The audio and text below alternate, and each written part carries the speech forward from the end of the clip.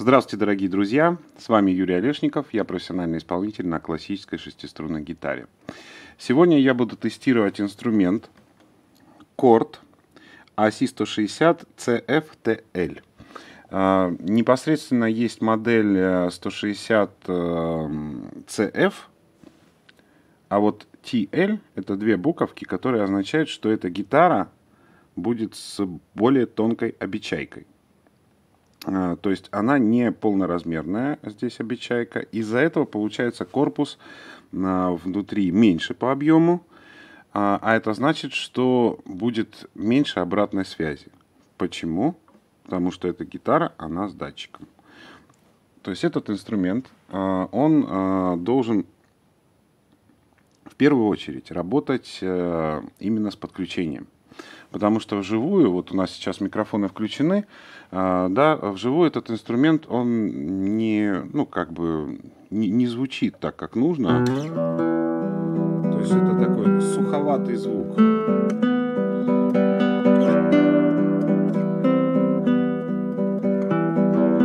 Да, э, то есть это заметно, особенно если какую-то другую гитару включить, послушать, да, вот, то это будет слышно. А, то есть здесь у нас главная задача этого инструмента, чтобы он хорошо звучал с подключением.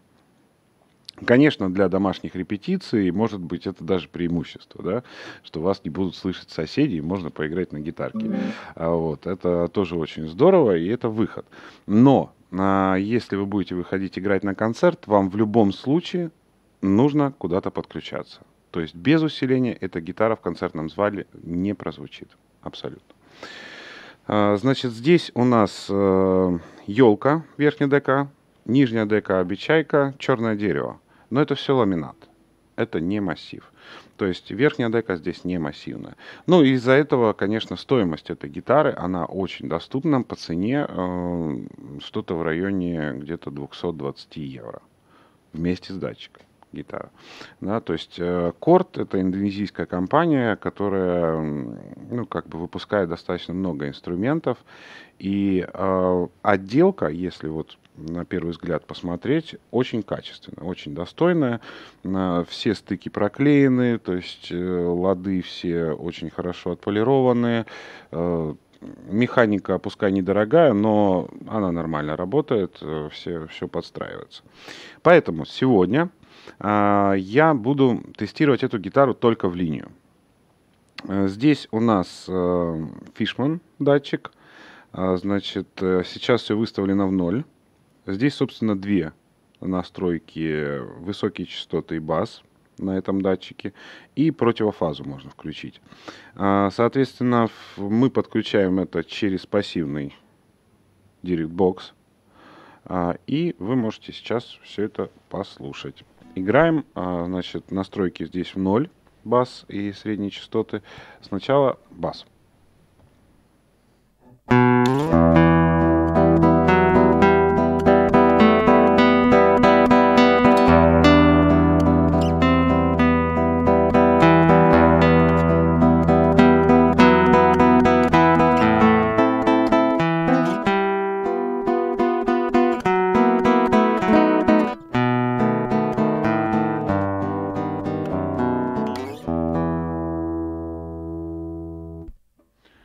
Теперь э, верхний регистр.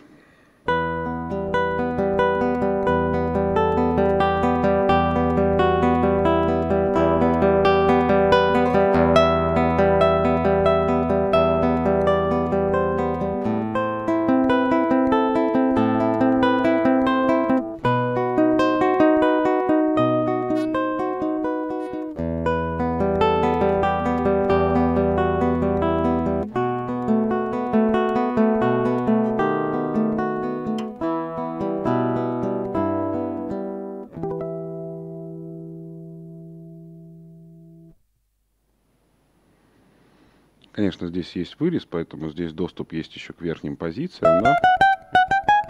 То есть очень удобно играть. Собственно, если говорить, например, про фингерстайл стиль игры, то э, здесь доступ к верхним позициям, он обязателен просто. Теперь флажолеты послушаем.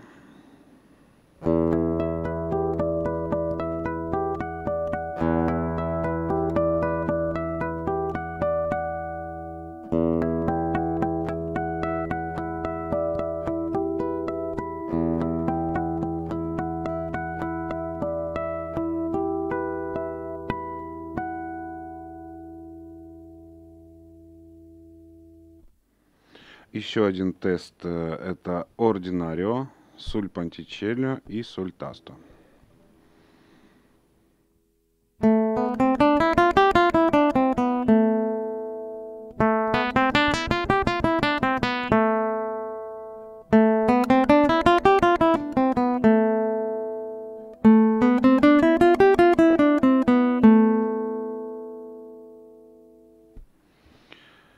И теперь еще аккорды, да? На атаку посмотрим.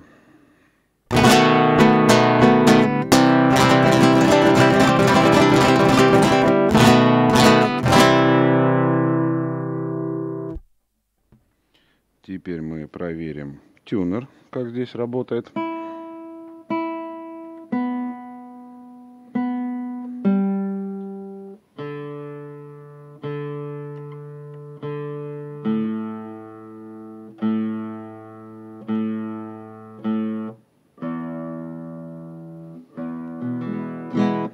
Настроил.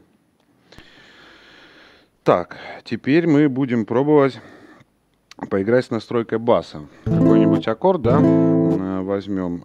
И сейчас я бас полностью убираю.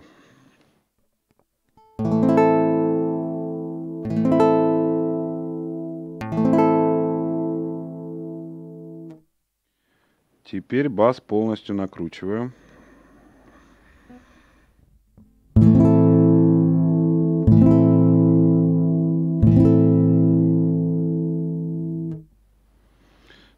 Теперь я его выставлю в ноль. Уберу полностью верхние частоты.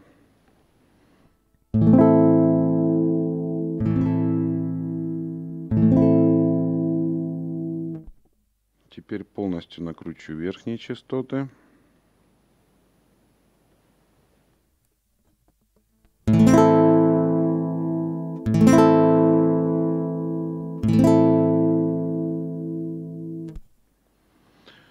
Еще такой момент. Гитара у нас должна, ну, как правило, с подключением используются фингерстайловые элементы, такие как удары. Да, сейчас я сыграю ударную технику, как что-нибудь послушаем тоже. Сейчас я в ноль обратно все верну.